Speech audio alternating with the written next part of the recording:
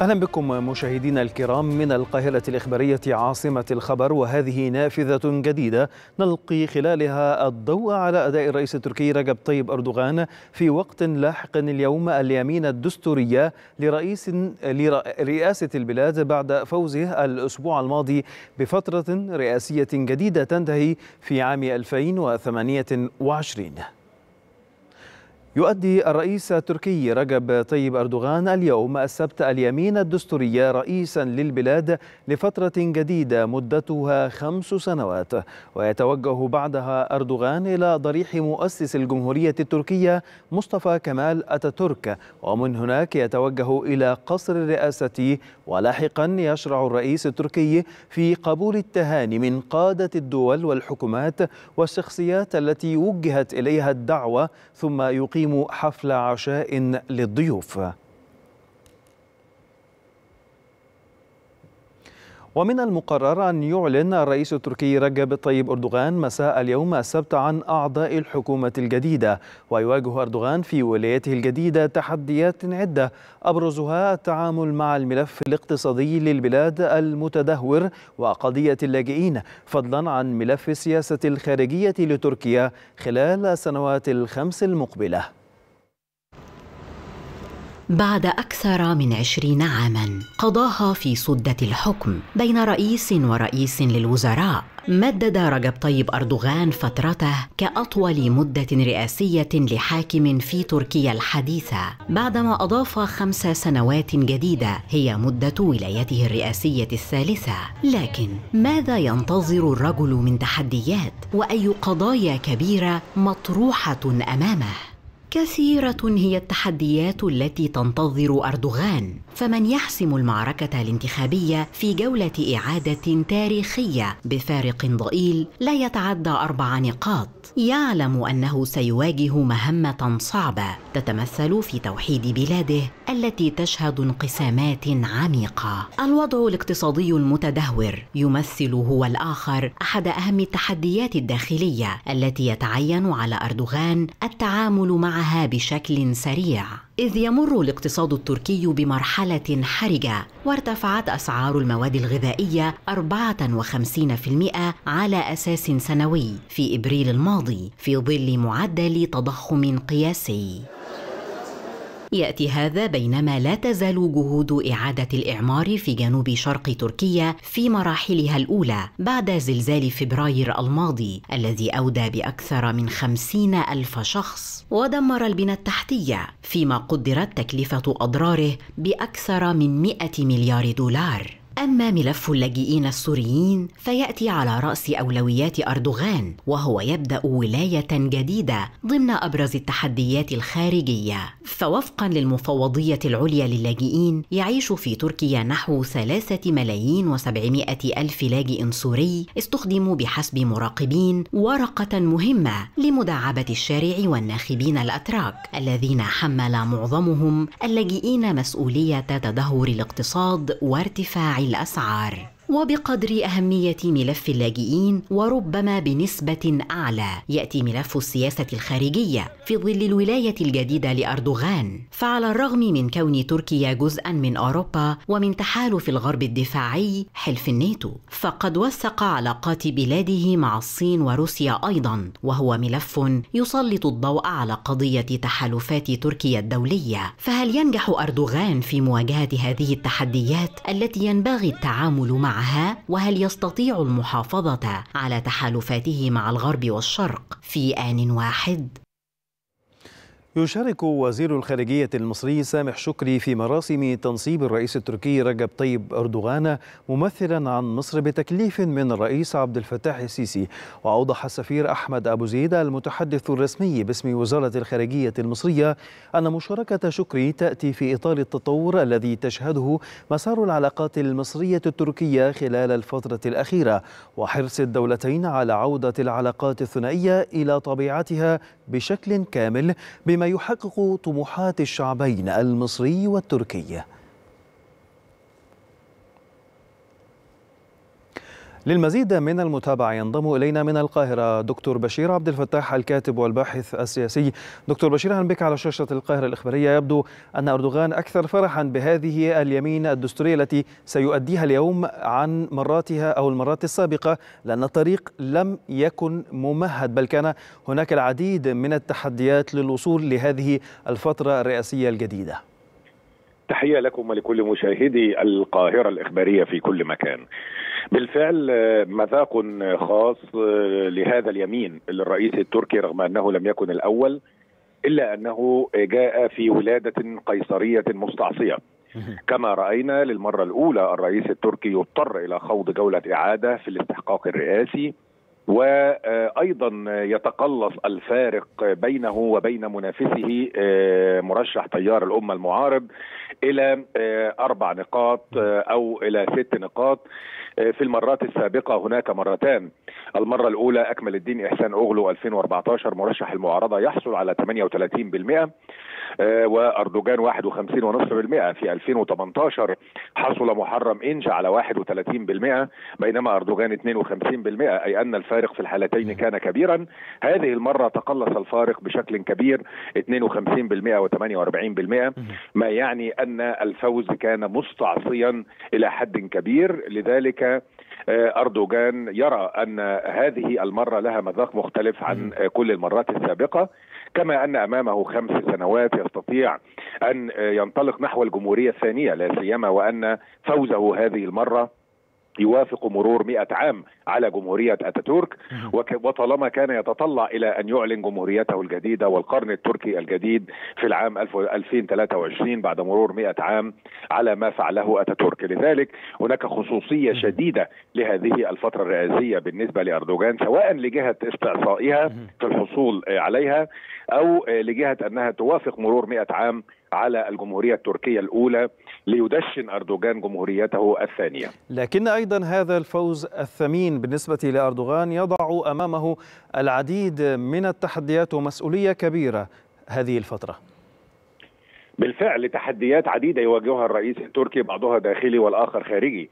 داخليا على سبيل المثال هناك الحاجة إلى توحيد الأمة التركية مجددا لأن الانتخابات أحدثت صدعا عموديا في المجتمع التركي وفجرت نعرات قومية وانقسم الأتراك إلى شقين. أردوغان يرفضه 48% من الأتراك يعني لم يحظى بإجماع كبير كما كان يظن. وبالتالي هذا الانقسام لابد من تكسير الفجوة ورأب الصدع بين الشعب التركي بمختلف فئاته وتوجهاته. الأمر الثاني كبح جماح النعرة القومية المتفاقمة. أثبت الاستحقاقان البرلماني والرئاسي أن التيار القومي في تصاعد وهناك أجنحة متطرفة ومتشددة داخل التيار القومي حيال الأقليات وحيال اللاجئين. على أردوغان الذي استعان بالتيار القومي خصوصا بعدما نجح هذا التيار في أن يجعل من نفسه صانع الملوك في تركيا خصوصا في الجولة الثانية. هذا التيار القومي أيضا بات ترتيبه الثالث في البرلمان بعدما حصد قرابة 100 مقعد.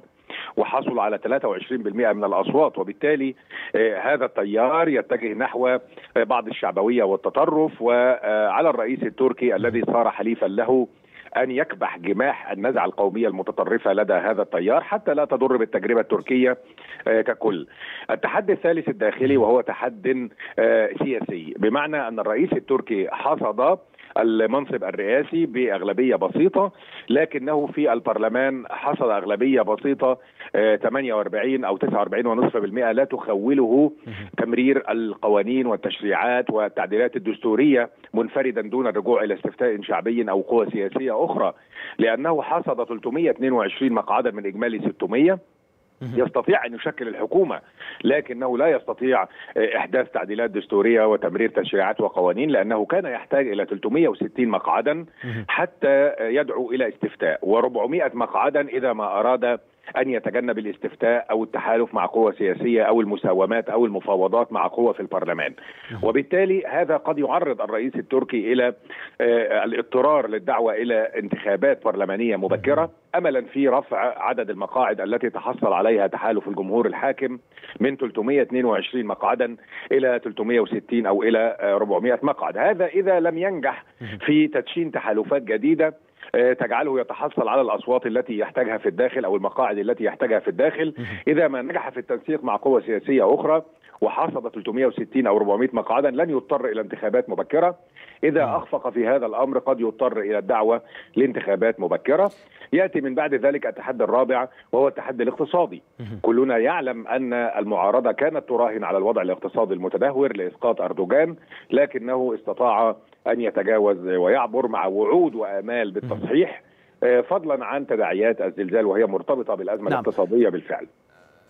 لكن دكتور بشير على المستوى الخارجي هناك سياسات جديدة تقوم عليها تركيا خارجيا واقليميا أيضا. نرى هناك زيارة يقوم بها وزير الخارجية المصري إلى ليكون جزء من حفل تنصيب الرئيس التركي. وأيضا هناك رئيس الوزراء الأرميني سيحضر هذا الاحتفال. هناك تغير في سياسة الخارجية التركية هذه المرة. هل هناك مزيد من هذا التغير ستشهده هذه الفترة لأردوغان؟ حينما نتحدث عن تغيير السياسة الخارجية لأي دولة عقب أي انتخابات يعني ننظر اولا هل تغير النظام السياسي؟ يعني هل أسفرت الانتخابات عن تغيير في النظام السياسي والحكومة والرئيس أم لا؟ في تركيا لم يحدث تغيير، نحن بصدد نفس الحكومة والرئيس والتوجه السياسي. يكون السؤال ها هنا التغير في السياسات رغم بقاء الأنظمة كما هي. الرئيس التركي كان قد بدأ قبل الانتخابات بعامين توجها انفتاحيا اصلاحيا صوب الإقليم والعالم. وبدأ بالفعل يقلص التوترات والخلافات بدأ ذلك مع دول الخليج وإسرائيل واتجه إلى مصر والآن يحاول مع سوريا. حتى في علاقاته الدولية هو حريص على التوازن ما بين الشرق والغرب ما بين روسيا والصين والدول الناطقة بالتركية من جهة وبين الولايات المتحدة والاتحاد الأوروبي والناتو من جهة أخرى. الرئيس التركي بدأ هذا التوجه الانفتاحي التصالحي لكن السؤال يبقى هل يستكمل هذا التوجه أم أنه كان توجها تكتيكيا لتحسين موقفه الانتخابي؟ الفترة المقبلة ستجيب على هذا السؤال. هل سيكتفي بالضبط دكتور. الرئيس التركي بما حققه وفاز في الانتخابات ثم يهدئ من وتيرة التقارب خصوصا وأن كل تقارب مع أي طرف يحتاج إلى شروط. يعني مع الولايات المتحدة هناك شروط أمريكية موضوعة نعم. في هذا المضمار.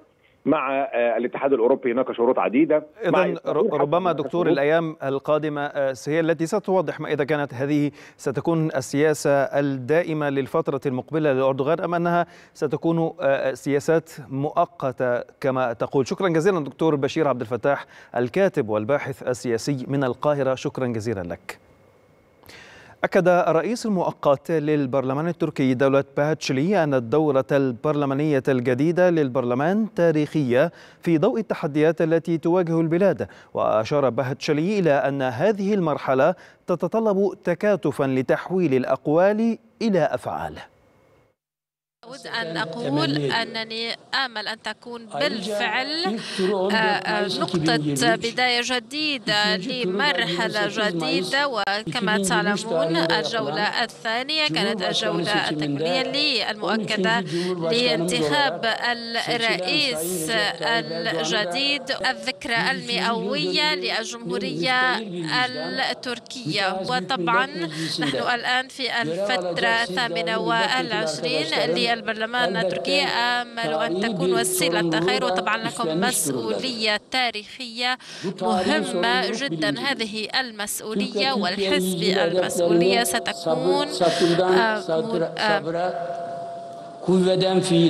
ستكون انعكاس المفردات إلى الأفعال وستكون مرحلة مهمة جدا في تاريخ الجمهورية التركية. كان نواب البرلمان التركي الجديد قد أدوا اليمين الدستورية بحضور الرئيس التركي رجب طيب أردوغان ويشغل حزب العدالة والتنمية الحاكم 268 مقعدا برلمانيا فيما يمثل الشعب الجمهوري 169 نائبا في البرلمان الجديد. للمزيد من المتابعة ينضم إلينا من إسطنبول محمود علوش الكاتب والباحث في العلاقات الدولية. دكتور محمود هناك تشكيل جديد لحكومة قد يعلن عنها الرئيس التركي اليوم بعد أدائه لليمين الدستورية. ما الطابع الغالب على هذه الحكومة في ظل العديد من الملفات التي تواجهها لا سيما تحسين الأوضاع الاقتصادية ورفع قيمة الليرة التي انخفضت إلى مستويات قياسية خلال هذه الفترة. مساء الخير. بالفعل تحديات كبيرة تواجه الحكومة التركية الجديدة تواجه عدد من احرى الولايات الرئيسيه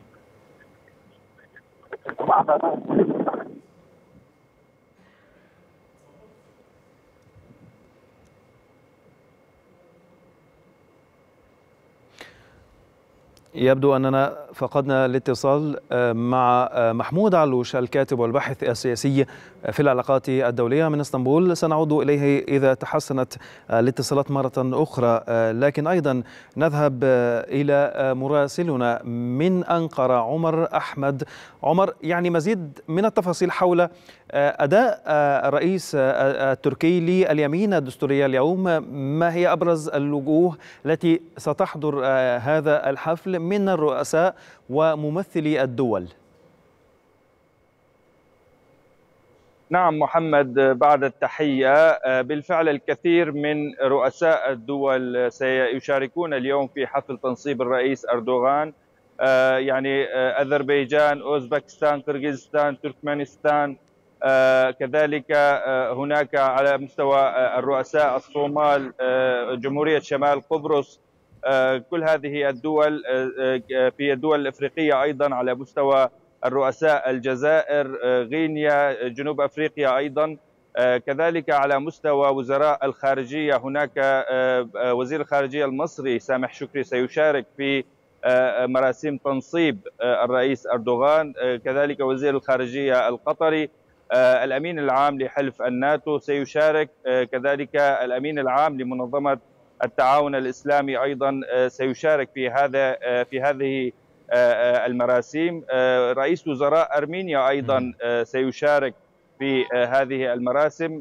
ربما هي صورة لمستقبل العلاقات التركية الخارجية بشكل خاص في هذا الإطار. توضح بأن تركيا متجهة نحو يعني إعادة علاقاتها ويعني تحسين علاقاتها مع معظم دول الجوار وغالبية دول الجوار. هذا الموضوع سيتأكد حقيقة في الأسماء التي سيعلن عنها الرئيس أردوغان في وزرائه يعني لمجلس الوزراء.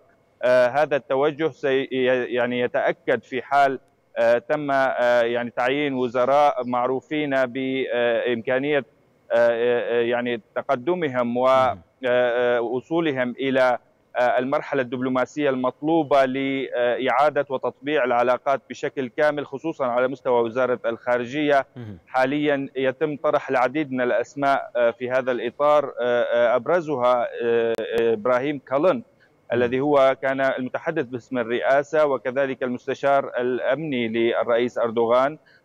يقال وهنا في كواليس أنقرة يقال بأنه سيستلم الحقيبة حقيبه وزارة الخارجية. كذلك هاكان فيدان أيضا متوقع أن يتسلم نائب رئيس الجمهورية.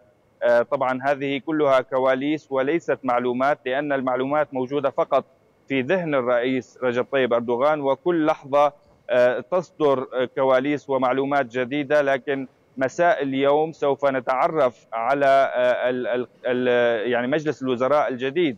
الذي سيعلن عنه الرئيس رجب طيب أردوغان في الكثير من الحقائب مهمة حقيقة على سبيل المثال الحقيبة الاقتصادية كذلك ستكون مهمة جدا. يطرح حاليا اسم محمد شمشك ولكن يعني هناك أجواء في أنقرة تشير إلى أن محمد شمشك سوف يعيد بلمح البصر بين قوسين. الاقتصاد التركي إلى مساره. هذا الموضوع يرفضه الكثير من الاقتصاديين. نعم يمكن أن يكون محمد شمشك يتبع سياسات يعني إن صح التعبير عقلانية في في إدارة الاقتصاد التركي. ولكن هناك تخوفات. هل سيستطيع يعني أن أن يدير الاقتصاد بصلاحيات موسعة ودون تدخل في هذه السياسات؟ ولكن طبعا محمد شمشك لديه يعني تاريخ في الاقتصاد التركي. كان نائبا لرئيس الوزراء السابق ووزيرا للاقتصاد والمالية السابق في العشر سنوات الماضية. وحاليا هو يريد حسب ما ترشح عن التقارير الإعلامية بأنه يريد حرية كاملة في إدارة اقتصاد البلاد. هذا الموضوع ربما يكون صعب نظرا لإصرار الرئيس رجب طيب أردوغان على تخفيض معدلات الفائدة بشكل أساسي في تركيا والتركيز على موضوع الاستثمار زيادة الاستثمار. هذا الموضوع يؤثر بالسلب على التضخم التركي المرتفع وكذلك على العجز التجاري والعجز التجاري الخارجي وكذلك عجز الموازنة الموجود حاليا في تركيا. كل هذه الأمور هي معضلات حقيقة تواجه يعني محمد شمشك الذي يتوقع أن يستلم منصب في اقتصاد البلاد. سنتعرف عليه مساء هذا اليوم. بكل تأكيد هناك الكثير من الحقائب المهمة إن كان بالنسبة للداخل التركي وكذلك على مستوى المنطقة إقليميا وكذلك دوليا محمد. إذا هي أسماء مطروحة ربما كما ذكرت عمر أنها تكهنت لكن هذه الحكومة من المنتظر أن تقوم بالعديد من المهام خاصة في ظل هذه التحديات الكبيرة التي تواجهها تركيا سواء داخليا من خلال يعني رفع تداعيات الزلزال في 11 ولاية أو حتى اقتصاديا بالإضافة طبعا إلى الملف الخارجي الذي تحدثت عنه عمر أشكرك. شكرا جزيلا عمر أحمد مراسل القاهرة الإخبارية من أنقرة. شكرا جزيلا لك. مشاهدينا الكرام كانت هذه تغطيتنا لأداء الرئيس التركي لليمين الدستورية في وقت لاحق اليوم وأيضا العديد من الملفات التي تواجهه في فترته الرئاسية الحالية أو التي ستستمر لخمس سنوات. أشكركم شكرا جزيلا مشاهدينا الكرام على هذه المتابعة. كنت معكم على مدار هذه التغطية محمد عبيد من القاهرة الإخبارية عاصمة الخبر. var.